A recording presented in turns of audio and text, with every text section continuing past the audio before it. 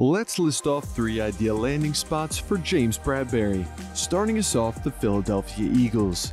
This would be irony at its finest. After facing the Eagles twice per year each of the past two seasons, if the Giants no longer want Bradberry on their team, maybe he wants to get his revenge by signing with Philly. Bradberry split duties between playing left and right cornerback with the Giants and could do the same in Philadelphia in 2022. Plus, the extra chip on his shoulder could provide a few more playmaking opportunities in the NFC East.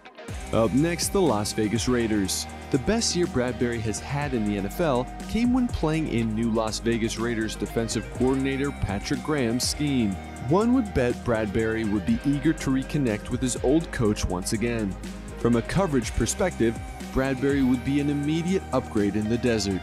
And finally, the Pittsburgh Steelers. Like the other teams on this list, the Pittsburgh Steelers also had a strong pass defense a year ago, but they ranked in the middle of the pack in capitalizing on interceptions, picking off 13 passes in 2021.